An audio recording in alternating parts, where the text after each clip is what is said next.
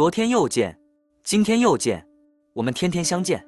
大家好，欢迎回到天天相见厨房，我是伟哥。今天给大家分享一道木耳炒鸡蛋最正确的做法。好多人木耳炒鸡蛋第一步就做错了，如果按照我这个方法做一盘，你肯定会爱上它。下面我们一起来了解一下吧。现在要准备的材料有木耳、鸡蛋、香菇、大蒜、生姜、小米椒、青椒。首先，我们要准备两把小木耳。今天我们准备的木耳一定是要野生的，这种木耳吃起来是比较香的。木耳准备好以后，然后倒入三十度的温水，把木耳给它浸泡一下，加入一勺普通的面粉，再下手给它抓拌一下，把木耳浸泡二十分钟左右。接下来准备三个鸡蛋，打入小碗里面，鸡蛋打进来以后，我们用筷子将它搅拌一下，搅拌均匀。我们把鸡蛋搅拌成鸡蛋液，最好是顺着同一个方向搅拌，会更均匀一些。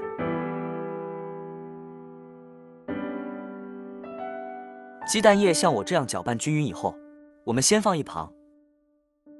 接着，我们再准备两个香菇，给它切成薄片，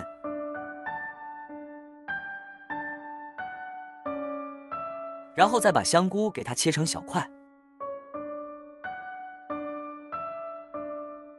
香菇切好以后，装入碗中备用。接下来我们要准备些大蒜，给它切成蒜片，再改刀把它剁成蒜末，剁细一点。蒜末切好以后，倒入碗中备用。准备一块生姜，切成薄片，再改刀切成姜丝。最后切成姜末就可以了。姜末敲以后和蒜末放在一起，准备几个小米椒，把它切成小圈。小米椒切好以后和蒜末放在一起，再准备一把小葱，直接把它切成葱花。葱花切好以后和蒜末放在一起。然后再准备青椒，把它对半切开，把里面的辣椒籽将它取出来，不要了。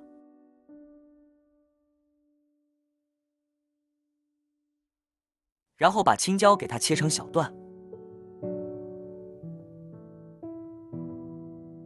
青椒切好以后装入碗中备用。再准备一个小碗，加入两勺的生抽酱油，然后加入一勺食用盐。九十九的鸡精，少量的胡椒粉，再加入一勺玉米淀粉，倒满一点点清水，然后一勺子将它搅拌一下，搅拌均匀。提前调个料汁是为了炒菜节省时间，这样炒菜的时候就不会手忙脚乱了。搅拌均匀，先放一边。这个时候，我们的木耳也浸泡好了，因为面粉有很强的吸附性。所以能把木耳里面的灰尘和杂质给它吸附出来，再下手给它多抓拌一会，抓拌均匀，把木耳给它清洗干净。木耳第一遍清洗干净，控水捞出来放到另外一个大碗里面，再倒入大量的清水没过木耳，然后我们再下手给它多抓拌一会，抓拌均匀。把木耳全部给它清洗干净。木耳像我这样清洗个两到三遍以后，再把木耳控水捞出来放到碗中备用。接着把锅中的水烧开，加入一勺食用盐，入个底味。我们一定要把木耳先焯一下水，这样能清洗一下木耳，把木耳里面的细菌给它焯水焯出来。所以，我们焯水的时间也不能太长，大概是一分钟左右就差不多了。捞出来以后，把它放到碗中，将它放凉。接着我们把香菇放到锅中给它焯水，香菇焯水的时间要久一点，把香菇焯水一分半钟左右就可以了。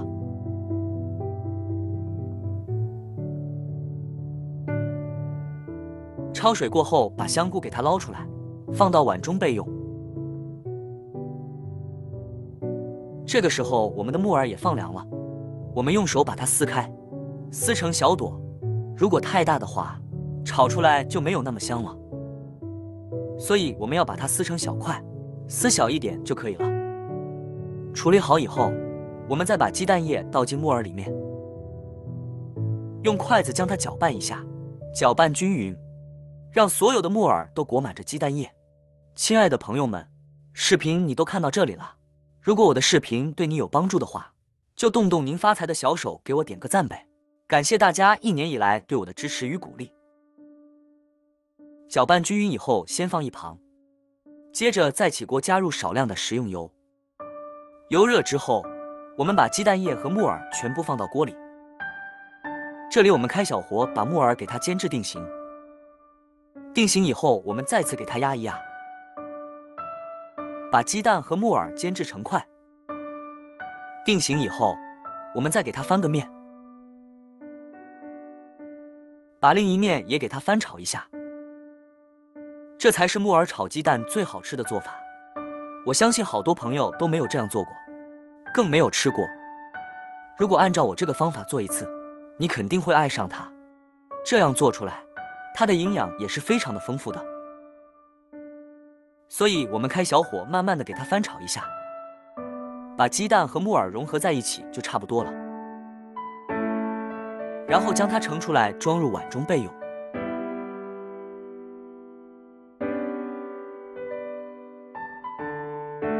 接着再起锅，加入少量的食用油，再把姜、蒜末、小米辣全部放入锅中，给它翻炒一下，把它们炒出蒜香味来。炒香以后，再把香菇加进来，青椒也一起加进来，继续开大火，快速的给它翻炒，炒至断生。炒香以后，我们再把木耳和鸡蛋加进来，这里我们要快速的给它翻炒，翻炒均匀，把所有的木耳和鸡蛋炒至入味，然后再把调好的料汁一起加进来。这里我们快速的翻炒，翻炒均匀，把木耳、鸡蛋全部给它炒至入味，这样木耳炒鸡蛋就非常的入味好吃了。快速的给它翻炒一下，翻炒均匀差不多，我们就可以出锅了。哇，真的是太美味了！将它倒入盘中就可以开吃了。一道非常入味又好吃的木耳炒鸡蛋，就这样做好了。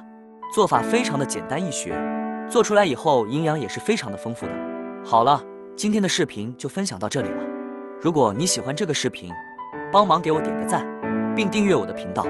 别忘了在下面留言，告诉我你有学会做这个家常菜了吗？下个视频中，我将会带来更多的家常菜。谢谢你的观看，我们下个视频见。